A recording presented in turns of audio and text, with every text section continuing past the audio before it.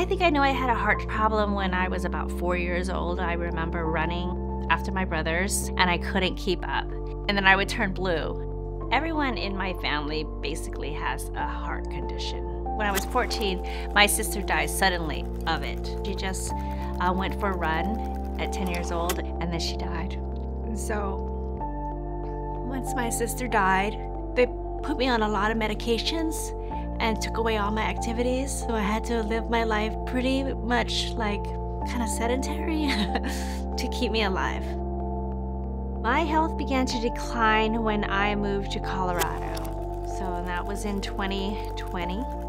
I felt like I was suffocating.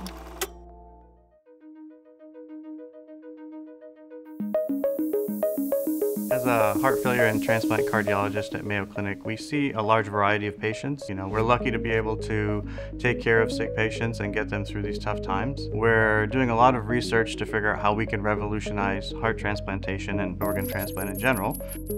The use of artificial intelligence really has helped us understand what we really don't know about transplant medicine. It's a very complicated science. The challenge in Kat's case was twofold. She had a very specific heart condition that made the use of any support devices a little bit higher risk, and she had a lot of antibodies in her bloodstream. Her journey was complicated because she had a lot of offers that we received that unfortunately weren't a good match for her. And so those dry runs are very emotionally taxing on our patients and on us as well. Um, you know, it's, it's never a, a good feeling to be able to give somebody false hope.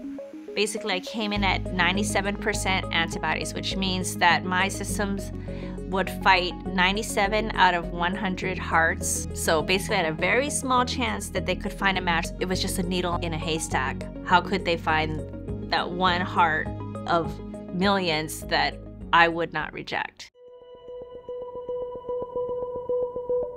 So for a lot of our patients, they touch the AI environment maybe once or twice during their care. Um, in Kat's case, it was instrumental for us to be able to understand both her risk and the ability for her to do well after transplant. In the past, there's huge pumps that have to be surgically placed and you have to cut the patient open. We were fortunate to uh, be able to get access to a pump called the Impella. We've figured out with our research with AI if you're going to have the need of heart transplant or not anymore. This newer generation device is a small, thin device that goes in under the artery and sits inside the heart and takes over for the heart. What it does, which is very unique, is it supports the patient and allows them to improve their organ function and their physical function while waiting for a transplant.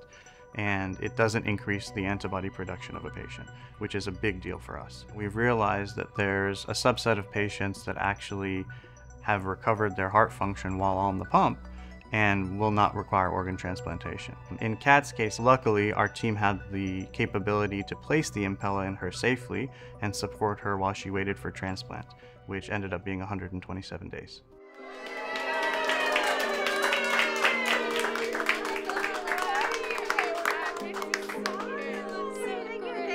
I finally received a match on June 6, 2023.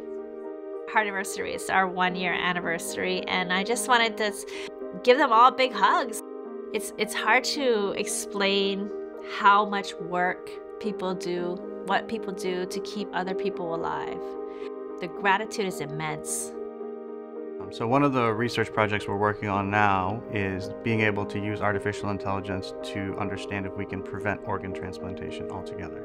And the goal will be in the future to be able to come up with a risk profile or a score that's more detailed and can help guide providers all over the world. I'm doing amazing. I'm living life um, out loud, outside. I'm able to exercise, which feels amazing. It feels, I never had a good heart. So just being able to um, use a treadmill or run or work out at the gym, it feels incredible. It feels very powerful to do that. I'm really looking forward to seeing my daughter get older.